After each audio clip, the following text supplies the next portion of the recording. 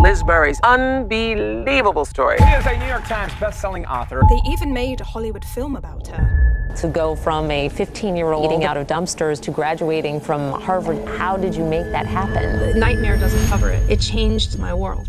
I found myself at 15 years old sleeping in New York City streets. It's definitely not Harvard material. I smelled. I would just eat from the garbage. They let people like us into Harvard.